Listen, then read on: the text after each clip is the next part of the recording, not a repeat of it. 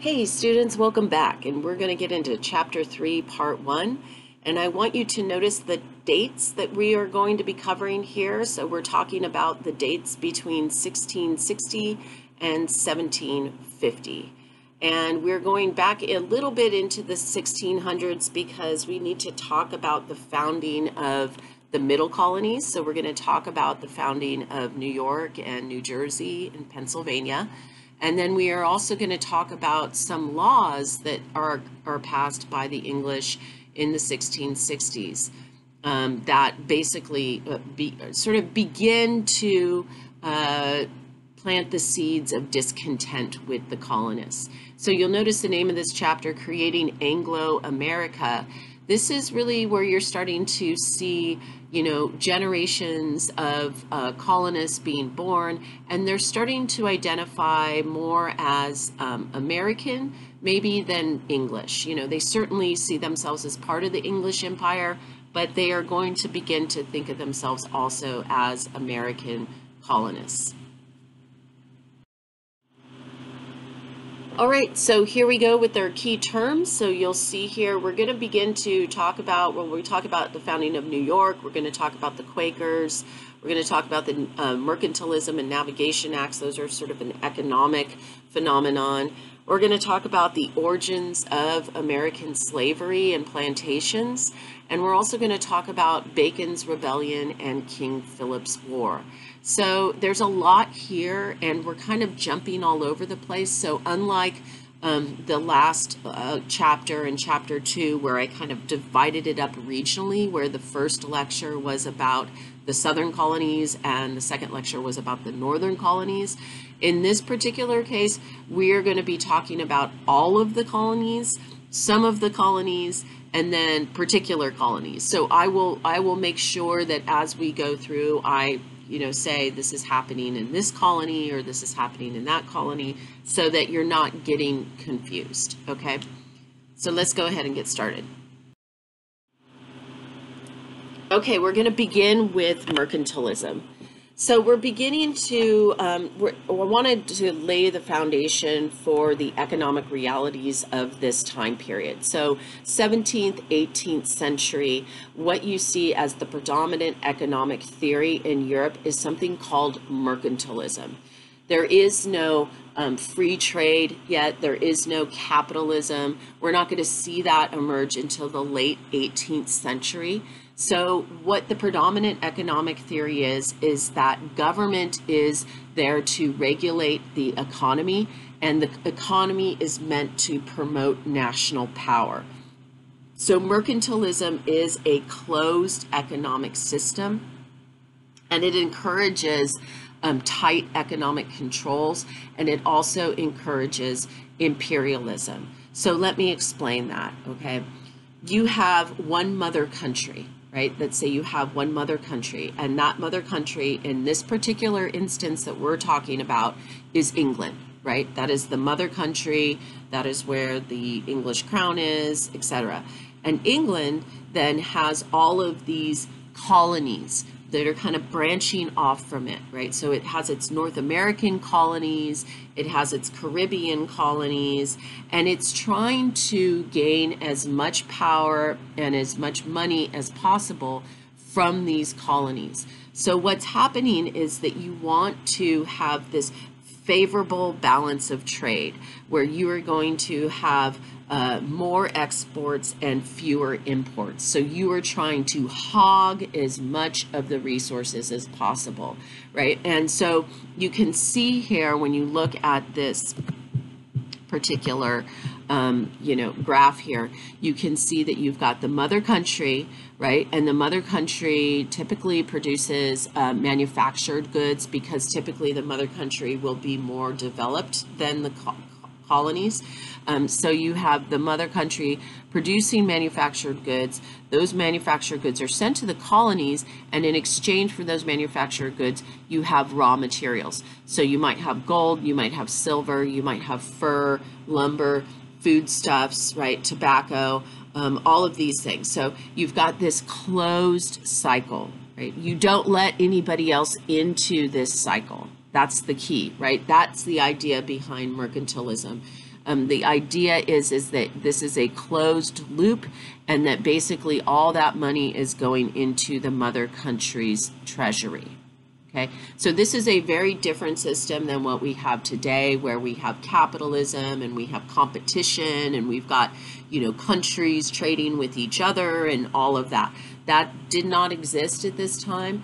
The, the primary um, goal at this time was to have these closed economic systems that would benefit the mother country, and that is called mercantilism.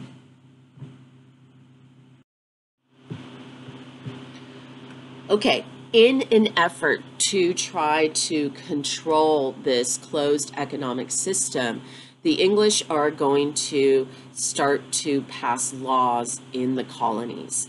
And you can see here this begins going all the way back to 1650 with a series of what are called navigation acts. Navigation acts. Now, you should know that in these colonies, in these early English colonies, and it didn't matter where in the colonies, so it doesn't matter if it's the northern, the middle, or the southern colonies, um, there was a lot of people that engaged in black market trade and in smuggling okay? And the reason for that is it really its proximity to other nations. So it was a it was a big temptation if you were a merchant um, to sell your goods to not just the english which is what you were supposed to do but to also maybe the Spanish or maybe the Dutch or maybe the French, right? And everybody is sort of near each other, so it was really easy to do that. Um, you might also be able to illegally import some of the goods from these other countries, right? So there was a lot of temptation to do that. The English wanted to stop that illegal trade from happening, so they passed these navigation acts, which put restrictions on trade and on shipping. So certain products, um, so these these navigation acts did various things, but one of the things that they did is they put restrictions on certain products. Now these would have been products that were highly valuable, right? These would have been products that brought them the most money, and tobacco and sugar is a perfect example of it. So they passed these laws that said any tobacco and sugar leaving the colonies has to be transported on English ships with English crews. And then the second uh, restriction that was put on is that those goods must be transported through English ports and those taxes have to be paid, right? Um, because again, the whole idea is that the money is circulating back to the mother country. So this is the beginning of the English really trying to put restrictions on the colonies. And you're going to see some people and this is a hundred years before the American Revolution, but you're going to start to see some people that are going to be upset by these restrictions, right? Um, and it as time goes on, and as people become less and less uh, identified as English and more and more identified as American colonists, this is this tension is going to become worse. Okay, so now we're going to talk about how New Netherlands becomes New York and how New Amsterdam becomes Manhattan. So in 1626, a man by the name of Peter Minuit, um, which was a director of the West Indian Company, he purchased the island of Manhattan for the purposes of setting up a Dutch trading post there. Now, the Dutch never were very successful at getting a lot of people to move to this new Amsterdam outpost. Um, it just didn't attract very many immigrants. But the immigrants that did come to New Amsterdam tended to be very diverse, both geographically and religiously. So you had a lot of different um, types of people, people from different parts of Europe. You also had Africans that were settled there in New Ham- Amsterdam. You also had different religions in New Amsterdam.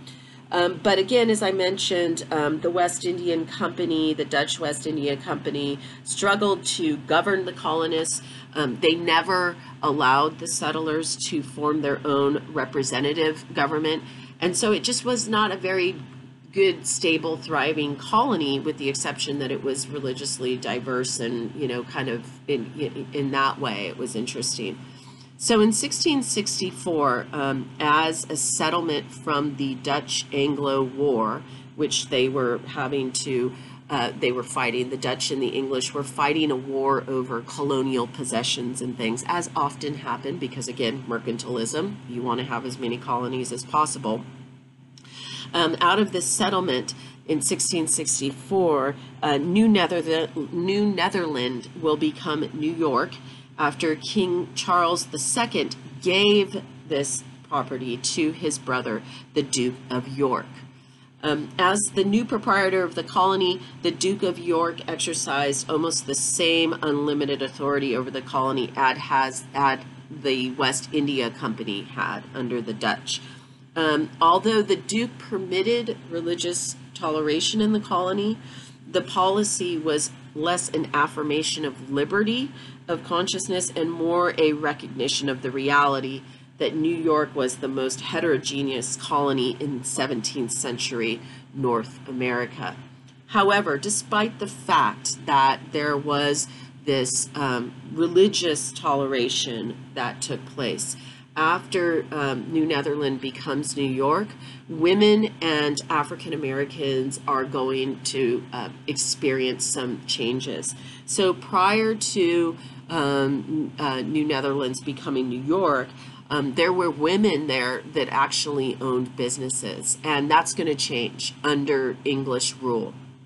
And for African Americans, many African Americans um, were had been allowed to have skilled labor jobs um, in New Amsterdam, they are going to be forced out of those skilled labor jobs and they are going to be replaced by English laborers. So, um, despite the fact that the Duke of York continues this religious toleration, mainly because he has to, um, because that's what the colony is made up of, there will be new laws that restrict African Americans and women once it becomes New York.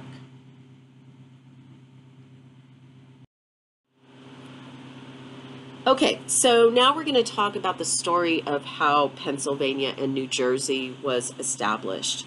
So the creation of New York indirectly led to the founding of New Jersey in Pennsylvania.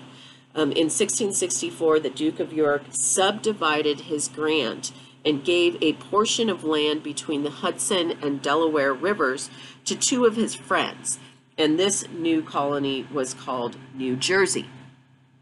William Penn, um, who you see pictured there, was a prominent English Quaker. Um, he was the son of an English admiral, Sir William Penn. Um, and he was brought in to arbitrate a dispute between these two proprietors of New Jersey. Uh, William Penn was a Quaker.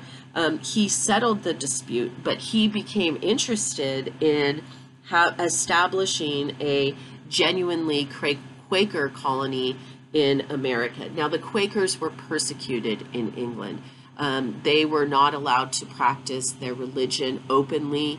Um, William Penn was kind of a rebel in his family and um, kind of broke away from his dad, who was an Anglican, part of the Anglican Church, um, and he became part of this Quaker uh, religion. And so when he's called to settle this dispute between the two New Jersey proprietors, he asked the, the king whether or not King Charles II, whether or not he could have this, um, this colony. Now, the Quakers have this concept of an open, generous God who made his love equally available to all people. And so it, this manifested itself in egalitarian worship services and in social behavior that continually brought Quakers into conflict with the English government. So it was not strange then when Charles II, who remained on good terms actually with William Penn, granted him land to found a Quaker colony in America. They were basically trying to get rid of the Quakers, right? Get out of here, get out of England, go go to America and found found your your religious uh, colony, right? So in 1681, Charles made Penn, William Penn, uh, the proprietor of the new colony called Pennsylvania. Now, Quakers were mostly artisans, farmers, and laborers. They all, many of them flocked um, to this new Pennsylvania colony. And they flocked there from England, from Ireland, from Wales, from the European continent. So there were Quakers all over Europe.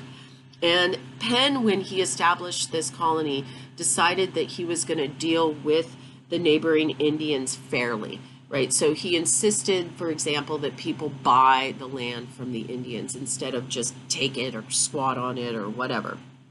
Um, but despite its toleration and diversity in Pennsylvania, Pennsylvania was as much a Quaker colony as New England was a stronghold of Puritanism.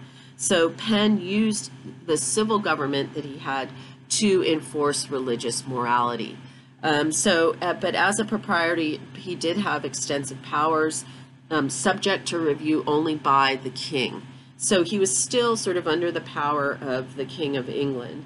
But uh, he, Penn, really stressed this idea that the exact form of government mattered less than the men who served it. So he really insisted on people being, you know, morally upstanding, etc.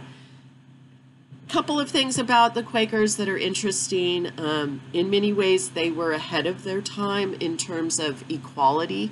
Um, they certainly had um, equal relationships amongst uh, the sexes, and so women sometimes um, had positions of power in Quaker society. They certainly could become leaders within the church itself. Um, they could become business owners. So Pennsylvania then becomes this colony that's founded that becomes known for its religious toleration. And they did have multiple religions represented in Pennsylvania. Um, and you can you you see this as a, a, very religious, diverse place, and so it will attract a lot of newcomers, especially as we get into the 18th century, into the 1700s. Pennsylvania is really going to take off. Okay, so we are going to leave the middle colonies of New York and New Jersey and Pennsylvania now. We are going to return to the southern colonies, specifically to the Virginia colony, and we are going to talk about a big event that takes place there in the 1670s called the Bacon's Rebellion. And I want to give you some background on this, talk about, um, you know, because this becomes a really like seminal point in the Virginia colonial history. And it has to do with a lot of different things. It has to do with relationships between the native people, and it has to do with the large population of indentured servants. So remember how I said two thirds of the colonial population were indentured servants. And this was especially true in Virginia and these plantation colonies where you needed a very large workforce. Um, so although African slaves did exist in the colonies, in fact, the first African slave ship called the White Lion um, brings about 20 Africans to the Virginia colony in 1619. It still remains the majority of the workforce in these southern colonies will be indentured servants um, all the way up to the 1670s. Okay, so um, even though, as I said, there are some African slaves in these colonies early on, uh, for the most part, you are going to get white indentures in these colonies up until the late 1600s. Um, and you're starting to get people who are very discontented. Um, this begins right around um, the 1660s. You're starting to get these populations of discontented poor people because they are um, former indentures and they they they don't have access to land. The other thing that's happening is you have this governor that's this royal governor that's sent in, a man by the name of Governor William Berkeley, and in 1661 he suspends uh, local elections for 15 years, um, and this is going to cause, again, a lot of discontent because, of course, you're not going to have representative government for those uh, 15 years. So the other thing that happens is going back to 1640, the Algonquins had signed a treaty with the English. Okay, so now I'm going to remind you of the uprising of 1622. So remember Opechancanough, who's Powhatan's brother. He's mad at the English. He then takes control of the Powhatan Confederacy after uh, Powhatan dies. And four years later, he launches this massive attack on the Jamestown settlement and the surrounding areas. That's, that happens in 1622. Okay. Um, once the colony becomes a royal colony after 1624, um, the English are trying to deal with the fact that um, the colonists are not getting along with the Native Americans. So they create a treaty with the Native Americans, um, and this is known as the 1640 Algonquin Treaty. And basically, what it did was it drew a line that said that the English settlers, the colonists, could not go past that line. It stopped that settlement on the western frontier. the problem was was there was this growing population of landless white men most of these landless white men are former indentures. And they're mad because they do not like this treaty because they want an opportunity to settle on this Indian land. Keep in mind that almost all that other land was already taken by these big plantation owners, etc. So they wanted to be able to go out and encroach upon this land. So in comes Nathaniel Bacon. Now, Nathaniel Bacon was a newcomer to the colony, but he soon realizes that there's all of this discontent amongst the poor people. And he decides he wants to take advantage of that, kind of exploit the fact that there's, there's this anger towards the governor. And so he starts to organize them and demand that the Indians on the western frontier be removed so that these poor, landless white men can settle.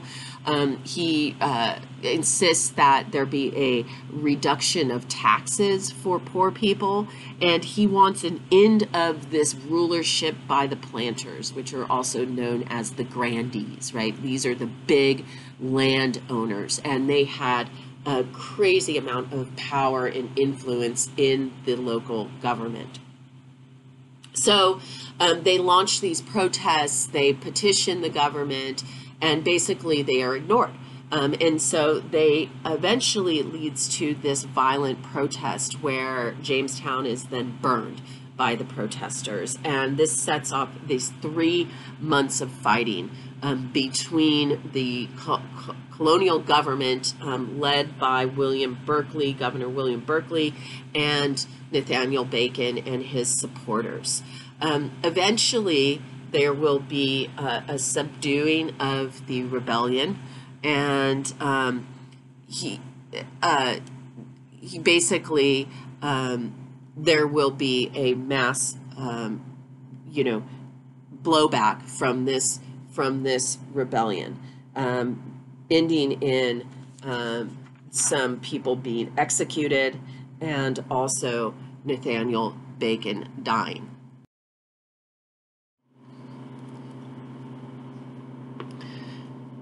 So here are the outcomes. Again, I kind of listed them out so that you would understand, and I listed them in chronological order. So initially, Bacon is going to, Nathaniel Bacon is going to get a little bit of traction, and he's going to kind of set up a temporary government. Um, but that is going to be very short lived. Um, the English are going to come in, they're going to come in with soldiers, they're going to force force down the rebellion. Um, 23 people are going to be hung, um, and Nathaniel Bacon ends up dying as well, not because he's hung. He actually uh, runs away, but ends up drinking some bad water and dying of dysentery. Um, and so, but this is the important part, okay? is that after Bacon's rebellion, the planters um, begin to develop a new political style, and they begin to develop, uh, they begin to allow settlement on the frontier. So, why is uh, Bacon's rebellion important? Hint, hint, if you're writing an ID, you need to know this. Um, basically, it's important because after Bacon's rebellion, these planter, the planter class of Virginia, realizes that they cannot allow these big populations of poor people to be unhappy. Um, and in fact, what they want to do is instead of continually importing these indentures, these white indentures, who eventually expect to have freedom and have land and all of these expectations, um, instead they want to begin to replace them with slave labor, with African slave labor. And so you see between 1680 and 1700, slave labor is going to re replace indentured servitude, and a lot of that has to do with the events that happened during Bacon's Rebellion. As a result of that, Virginia will become a slave society. Laws will be passed that start to reflect the oppression of slaves. Um, laws such as, you know, African Americans cannot own weapons. African Americans cannot move freely about society without passes. Um, so you begin to see laws being passed that reflect the influx of African slaves into the Virginia colony and then eventually into all of the other southern colonies, the Carolinas, the uh, Georgia, and that is because those plantation systems that existed there required this massive labor force.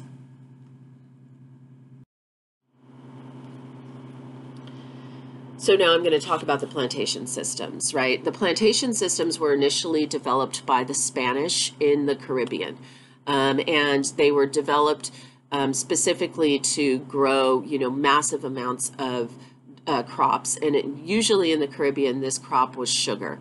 And sugar was a relatively new introduction to the European diet. And once the Europeans were able to cultivate the sugar, it became extremely popular, as you can imagine. Um, the other thing that is very popular in terms of a plantation crop is tobacco, rice, and indigo. So, tobacco, obviously, for smoking, um, rice for eating, and it becomes a staple crop. And rice tobacco sugar was grown primarily in the Caribbean. Tobacco was grown in the Virginia colony primarily, and then rice was grown. Rice and indigo were grown um, throughout the Carolinas, Georgia, and um, in those areas in the deep South. Um, you may ask yourself, what about cotton? Well, cotton um, was more of a 19th century crop, and so we will talk about that when we get to the 19th century. Indigo is a plant that um, creates this like bluish dye, and it was very highly desirable. Again, any any plant, or um, in the case of cochineal insect, that created a natural dye during this time was was highly uh, desired. Um, the thing about plantations is, of course, they require a very large um, population of laborers. And because of that, the people that own the plantations are almost always inevitably outnumbered by the laborers. And so they feel as if they need to violently oppress their labor population. And so, um, you know, you'll have, you know, big populations of African slaves being brought onto these plantations, and then you might have, you know, five overseers or something, you know, overseeing a workforce of, you know, 500 slaves. That the the plantation owners understood could be a recipe for disaster. And um, the other thing about plantation work, obviously, is that it's very um, it's very hard. It's very taxing on the body. And particularly for sugar plantations, um, the sugar plant itself is very sharp. The leaves of the sugar plant are very sharp. So small cuts were very common, infections were common. It was very common for people to die. Um, uh, you know, working on the plantation after just a few years of working. So, the other thing about the plantation system is that it required a constant flow of new slaves in order to renew it.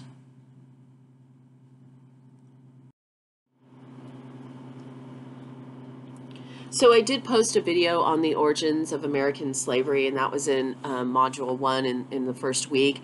And I do encourage you to watch that video. Um, but also, I want you to understand some of this um, background, right? So you've got Bacon's Rebellion. Bacon's Rebellion happens, and the planter class in Virginia starts to think, hmm, maybe it's not a good idea for us to import all these white indentures who feel like they are, um, you know, that they somehow have a right to be free and have a right to have political voice and have a right to have land, et cetera, et cetera. So um, instead, why not replace them with, with African slaves? You know, African slaves had already been being used extensively throughout the Caribbean. So the African slaves begin to be brought to Virginia for tobacco uh, cultivation. So why choose African slaves instead of indentured servants? Well, the first reason is the one that um, was addressed through Bacon's Rebellion, right? Which is that we don't want to have white former servants that think that they're entitled to land or freedom or political voice, right? Um, instead, African Americans uh, can come, Africans can come from Africa, and they are exempt from common law because they are not English, right? Remember that the indentures are actually English, even though they're poor English. They're still um, have the right to common law. So they have the right to trial by jury. They have the right to testify in court, right? So they have all of these rights kind of built in. Um, Africans are exempt from that. Um, the other thing about African slavery is the term of service never expires, right? You are a slave and you are a slave for life. Um, and this is to the advantage of the slave owner. Now, that does make African slaves much more expensive typically than a typical indenture would be. But also, slaves who had children, those slaves, those children were also slaves, right? So, again, this is another advantage that African slavery had over indenture. Um, their skin color made them stand out. So, one of the problems for the indentured service servitude system was that um, indentures, white indentures, would often run away and they would be able to kind of blend into colonial society. And um, that would be a lot harder for an African to do. Um, and then finally, some Africans actually had immunities to certain European diseases because the Portuguese had had contact with the Africans going all the way back to the 1400s. So by the time we get into the 1700s, that's already almost 300 years of exposure um, between these two groups. So particularly Africans living along the coast um, would have already been exposed to some European disease. And unlike for example, uh, Native Americans, right, who died um, a lot from European diseases, a lot of these Africans would have immunities to diseases.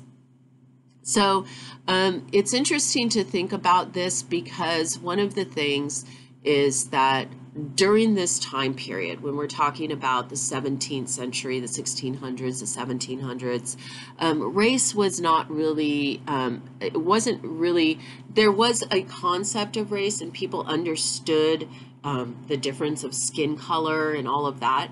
But there were there were different categories um, based on whether people were considered civilized or barbaric. There were also different categories based on whether people were considered Christian or non-Christian, right? So um, those were distinctions that were more important than skin color. But what ends up happening with this um, system of slavery that is put in place in the United States, it becomes solely based on the color of the skin. And so you get discrimination based on skin color that really becomes this predominant theme um, throughout American history. Okay, so now we are going to leave the southern colonies once again, and we are going to travel back up to the New England colonies and talk about another dispute between the New Englanders and the Native Americans. A massive war erupts in 1675, known as King Philip's War. So we already talked about the Pequot War, which uh, led to all of these skirmishes in the Connecticut River Valley. And um, in the decades that followed, the New Englanders continued actually to maintain peace with the more powerful Wampanoags um, while they continued to encroach upon their land. But in 1675, warfare between the Indians and the colonists erupted in western Massachusetts. This war was known as King Philip's War, from which the colonists eventually will emerge triumphant. But it will also leave New Englanders with three things an endearing hatred of Indians, a large war debt, and a devastated frontier. So let's talk about the origins of this war. Um, you see here pictured in this image uh, somebody that uh, the Puritans called King Philip. Um, his name was Chief Metacom. He was actually the second son, son of Chief Massasoit. So the original chief who had greeted the pilgrims at Plymouth and had helped them survive through that first year and had celebrated that first Thanksgiving with them. And up until this time, they had really, the Wampanoag had really coexisted peacefully with the Puritans. But when Chief Metacom, when King Philip um, became the leader of the Wampanoag, he started to get very upset at how the Puritans were treating the Wampanoag Nation, who had always been very kind and generous with them.